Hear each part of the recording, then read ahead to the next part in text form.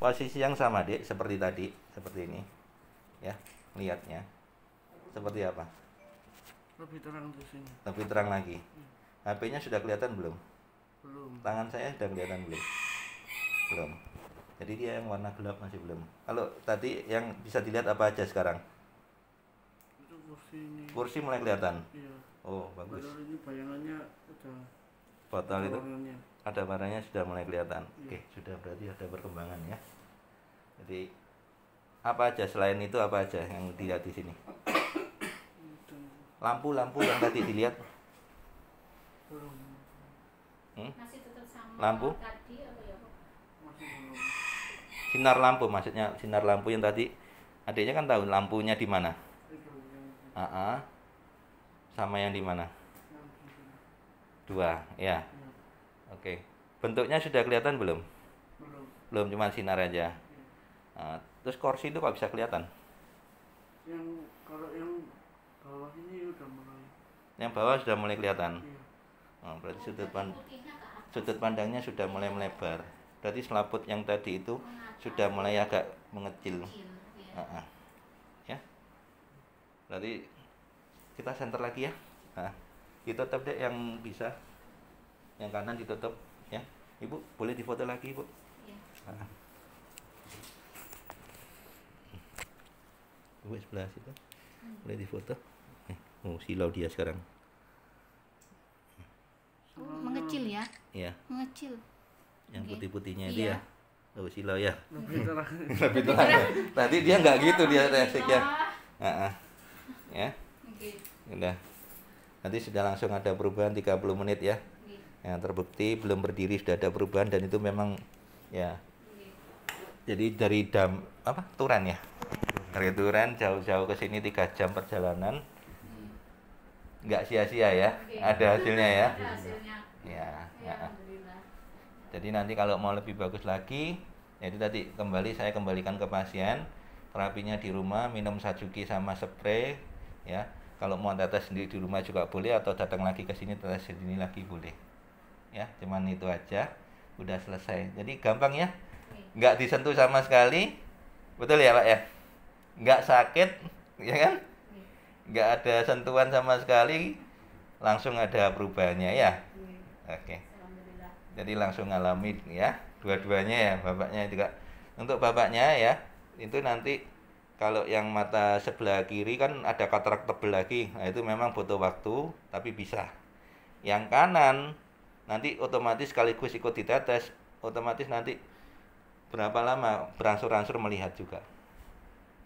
Membetulin yang retinanya yang di tengah tadi itu. Kan awalnya lebar banget ya nanti akan sempurna. Ya lebar terus bentuknya nggak bulat. Oke. ya.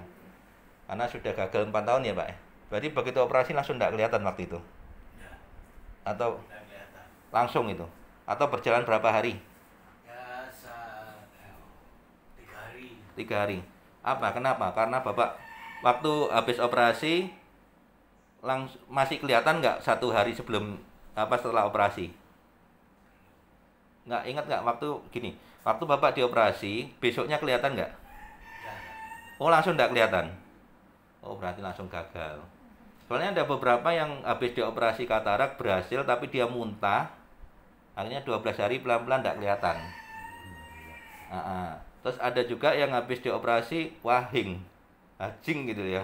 Nah itu langsung tidak kelihatan ada. Ada yang habis dioperasi sujud, akhirnya retinanya ke atas, anu lonjong. Nah, itu bilang empat bersaudara. Nah, itu ibu-ibu itu ke sini semua. Yang satunya belum dioperasi, satunya operasi hidung malah matanya mendulu. Itu ada semua. Ya, ada di YouTube-nya Mas Trim semua.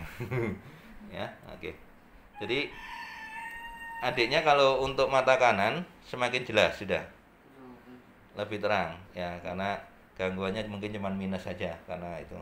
Ya, kalau mata kiri nanti yang ini kalau dilihat dari selaputnya ini glukoma. Ya, jadi ada selaput putih seperti itu. Nah, sering sakit kepala di belakang sini. ya di sini Sudah berapa lama itu sakitnya? ya mulai SMK ini Sering.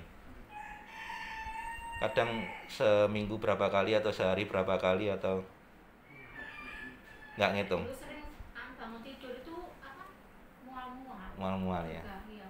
jadi biasanya bu ciri-ciri glukoma walaupun tidak dipasang karena tidak diperiksakan sama yang detail yang tekanan bola mata itu dilihat dari gejalanya aja sudah kelihatan ya yang pertama selaput yang kedua bagian belakang sini atau di mata ini kadang jenut-jenut cekot-cekot lah bahasa Jawanya itu. Ah, ah. kayak ditekan-tekan gitu loh Ah, Iya, ya. Merasakan itu kan? Merasakan itu. ya jadi nanti kalau andai kata ada spraynya Master Lim itu tinggal di spray aja yang seperti tadi sehari lebih boleh lebih dari enam kali. Eh adiknya saya ajarin caranya gini ya. Jadi spraynya kayak gini buka mata yang lebar ya. Nah spraynya gini jaraknya kurang lebih 20 cm tekan yang kuat dua kali. Satunya. Nah seperti ini terus merem kurang lebih satu menit ya. Di dalam biar merasa kering dulu sudah. Setelah itu buka mata ya di spray lagi ya seperti ini dua kali nah ini dihitung satu. Sehari boleh lebih dari enam kali. Ya. Mau 10 kali mau Setiap pengobatan Setiap saat. dua kali. dua kali dua kali merem satu menit spray lagi dua kali dua kali dihitung satu. Sehari boleh lebih dari enam kali. Jadi 10 menit lagi spray lagi satu jam lagi spray lagi yang jadi anytime setiap saat boleh spray. Ya. Nah, di rumah minum satunya sehari terserah minimal dua botol boleh tiga boleh empat nah, terserah ya ini seperti itu untuk perbaikan sel dari dalamnya nah terus habis itu kalau tidak ada tetesannya ke sini lagi per tiga hari atau per seminggu sekali jadi usahakan nggak lebih dari seminggu nggak kurang dari tiga hari. Contoh besok tetes lagi bisa nggak bisa? Nggak bisa. Harus lewat ya paling nggak tiga hari ya atau paling lama seminggu lagi. Itu untuk efektifnya rutinnya gitu. Ya nanti seperti itu. Ya. Oke sudah selesai? Iya. Ya. Terima Oke. kasih. Ya sama.